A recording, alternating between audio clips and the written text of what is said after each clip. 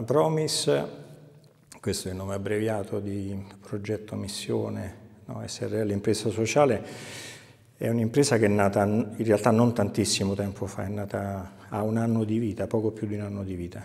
Le attività che vengono svolte intanto sono quelle tipiche di un'impresa sociale. In un territorio diciamo, devastato come quello del cratere, eh, la forza di questa impresa sono essenzialmente gli operatori. Sono quasi tutti eh, ragazzi, più della metà donne, lavorano nel sociale, intendo dire che di fatto ecco, sviluppano attività sul territorio di Amatrice, Borbona, eh, Città Reale, Accumuli. E noi siamo lì, siamo presenti, quindi con i bambini, con i ragazzi, eh, ripeto, in età più complicata, con gli anziani. Attualmente eh, ci sono 15 operatori, ci sono stati dei picchi eh, in cui siamo arrivati anche a 25-26 operatori, siamo nati sicuramente sotto la spinta della diocesi, eh, però ha, ha, trovato certamente eh, dire, animi predisposti. Potrebbe essere considerata eh, figlia di, ma in realtà insomma, evidentemente era un'esigenza che partiva un po' da, da ognuno di noi. Tra le esigenze che abbiamo rilevato stando sul territorio, anche perché di fatto per noi diciamo, ehm, anche prendere un caffè con con una persona del luogo, farsi raccontare un po' i disagi, anche le gioie, insomma, perché ci sono anche quelle per fortuna, è un modo per star vicino e, e da lì escono fuori un po' di, no? vengono manifestate un po' di esigenze. Il terremoto di per sé ha, ha azzerato tutto, cioè quindi ha azzerato sicuramente la parte, come dire, no? mattoni fabbricati, e quel poco di sociale che c'era, eh, anch'esso è stato, come dire, raso al suolo, no? affetti e quant'altro. Nelle attività che svolgiamo eh, cerchiamo di lavorare anche con altre associazioni del territorio. Eh, nel post-sisma ne sono nate, credo, una sessantina, cioè una, una, un numero eh, l'ho trovato una, diciamo, un numero esagerato, ma insomma, spinti emotivamente dal da voler fare qualcosa, credo sia anche una cosa legittima, giusta.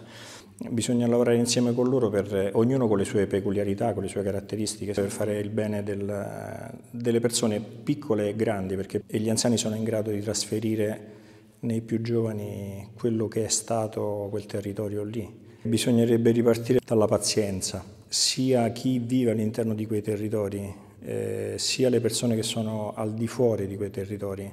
Ci vuole pazienza perché non ci si rende conto di quello che significa eh, vedere un, un, un, paese lungo un chilometro e, e, oggi vedere a destra e a sinistra 10-15 campi di calcio, perché di questo che stiamo parlando. La pazienza spesso manca, quindi qualche volta anche come, no, come Chiesa o come eh, diciamo, eh, società di servizi legata un po' al mondo cattolico siamo un po' qualche volta soggetti ad aggressioni verbali, no? perché eh, non stiamo facendo niente. In realtà bisogna immaginare che quello che è andato via con pochissimi secondi, per ricostruirlo ci vuole, ci vuole del tempo, quindi sicuramente la pazienza bisogna metterla in campo. Ci sono siti in Italia dove la ricostruzione è stata ancora più lenta. Io oggi diciamo, giro per la matrice perché è, eh, diciamo, è, il polo più rappresentativo, ma poi in realtà insomma, vanno tenute in considerazione altre, tutti gli altri paesi, tutte le altre frazioni, sono tantissime.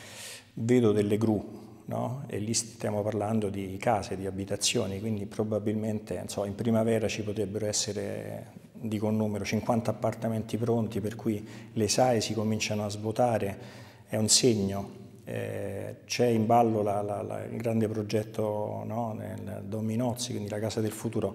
Ecco, se cominciano a ripartire queste cose, in realtà non stiamo parlando cioè, di un numero infinito di anni, per come riesco a capire io questa cosa.